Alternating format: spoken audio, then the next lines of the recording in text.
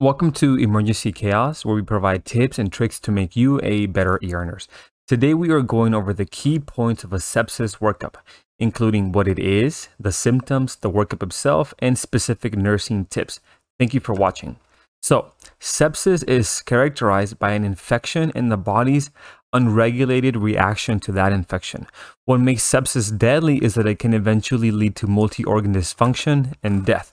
So, the purpose of, seps- of the sepsis workup is to locate the infection and figure out how sick the patient is.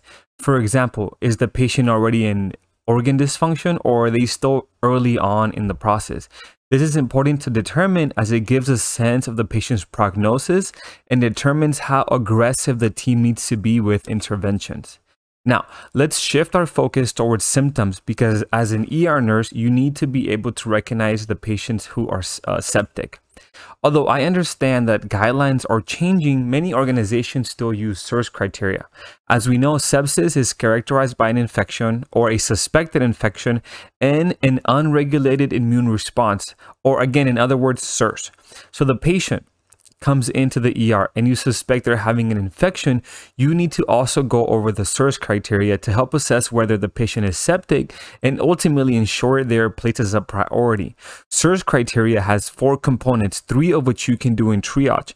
They include a temperature greater than 100.4 Fahrenheit or less than 96.8 Fahrenheit, a heart rate greater than 90, a respiratory rate greater than 20, and finally a white blood cell count greater than 12,000 or less than 4,000. Again, when a patient comes into the ER and you suspect they're having an infection, you also need to go over the SIRS criteria to make sure that you place them as a priority to be seen next to get attention first, just in case they are septic.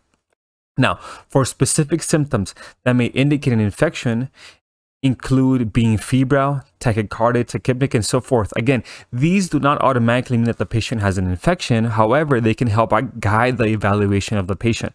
For example, if the patient is febrile, tachycardic, has abdominal pain and green stools, it can help point the team in the right direction regarding the workup.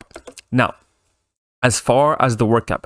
However, keep in mind that the most likely sources of infection for septic patients are from the lungs, the abdomen, and the urinary system. So the CBC with the differential will let us know the white count, what type of white blood cells are elevated, and whether a shift is present. The CMP will let us assess organ dysfunction and derangements as a result of the infection in the body's response. The urinalysis will allow us to see if there is an infection in the urine, and the urine culture will help us figure out which antibiotic is most effective. The blood cultures will help us detect whether bacteria is pre present in the bloodstream and figure out which antibiotic is most effective. The same principle will apply to to wherever you obtain a culture from, whether it's a sputum, a wound, or even any type of tube or drain that's coming out of the patient. Now, the lactate gives us an understanding of the patient's perfusion status, whether the tissues throughout the body are getting the oxygen they need. Typically, the higher the lactate, the higher the mortality rate is. It's also useful to trend because if you repeat the lactate after your initial interventions, like the fluids and the lactate came down, you can gauge that your interventions are working. The team may also start ordering additional lab tests like inflammatory markers and a DIC panel. Inflammatory markers like procalcitonin help determine the level of inflammation throughout the body. The higher the level, the higher the inflammation. The DIC panel will let us know if clotting factors are being consumed throughout the body and signal whether they have to be replaced. The main thing that I want you to remember is source control. Finding the source of the infection is crucial, especially when we keep trying everything in the part and the patient is showing no signs of improvement, we need to address the source. The worst outcomes that I've seen is when we are unable to find the source. So, is it coming from a skin infection somewhere in the body? Have you turned them? Have you looked everywhere? Is it possibly coming from the Foley, from a central line, from a PICC line, from a nephrostomy tube, from the dialysis catheter? You have to find that infection, right? Next, so the chest x-ray will help us figure out if the patient has pneumonia or any other condition that may be causing the patient's symptoms. The same for the CT. It's going to help us find the source or perhaps help find the cause of the patient's system symptoms. The LP will help us assess for an infection in the CSF if the patient is showing meningeal signs or even to rule out when the rest of the workup is inconclusive. Now, let's go over the treatments, but super quick, I want to say thank you for watching this far. If you would like to further support the channel, please consider becoming a member. It is $1 per month and it goes to helping ensure I am able to create more videos like this on a regular basis. Again, thank you so much. Now, back to the general treatment.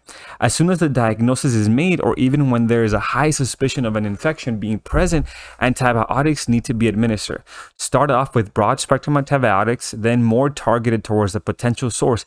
Then when the results of the cultures come back, the antibiotics will be specific towards the offending agent.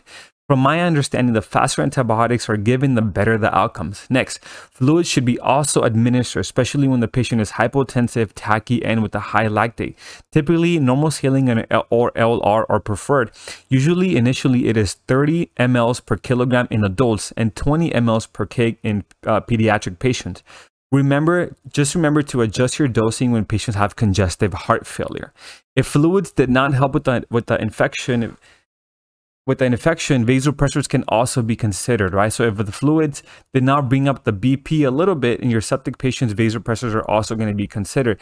The first line pressor for sepsis is going to be norepinephrine, then most likely vasopressin from what I've seen.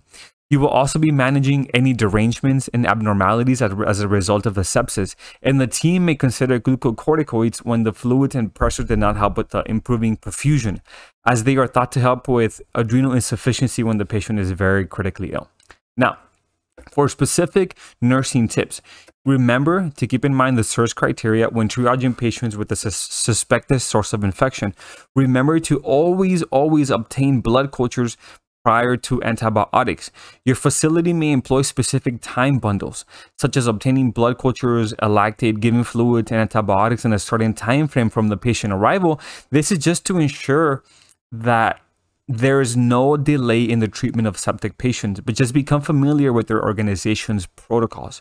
Remember that norepinephrine is typically the first agent in sepsis and that it can go peripherally initially. If you do use it, remember that you need to put in a large bore IV in the AC if possible. Again, norepi will be the first line agent and if you didn't use it peripherally initially, you can. Just make sure you get an okay from your providers and that you do a you place a large bore IV. And finally, which is extremely important, is to closely monitor your patient to ensure the interventions are working. And if not, that you're timely communicating with the team. Thank you so much for watching. I would really appreciate a like and a follow, and if you learned something today and would like to help support the channel, please consider getting the mini book I put together on Amazon. The link will be in a pinned comment below. As always, you should continue nurturing your curiosity and continue learning daily. With that in mind, please watch my other videos and I've also listed my favorite ER nursing related books in the description text and in the comments as well. So when you get a chance, please check them out. And if you've learned something recently while at work that may be helpful to other new ER nurses, please consider sharing it in the comments so that we can all benefit and help each other out. Thank you. And as always, teamwork makes the dream work. And here at Emergency Chaos, we are proactive, not reactive.